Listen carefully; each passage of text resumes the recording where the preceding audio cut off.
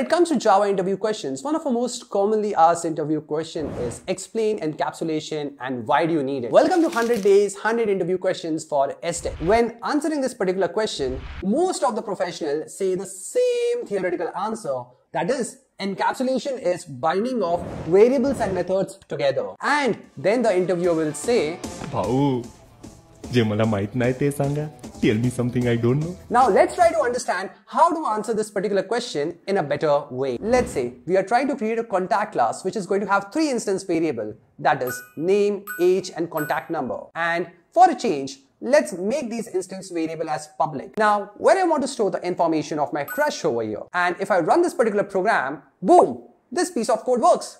But do you really think that this program gives me a right output? The answer is no. Age cannot be a negative number. And that's what encapsulation is all about. Encapsulation protects the instance variable from invalid value assignments and it does it with the help of public setter. Inside the public setter, we need to write the validation logic. I hope you have understood what is encapsulation and why do you need it. If you found this particular video useful, make sure you hit the like button and follow Tech with Jatin to stay updated in SDET and DevOps.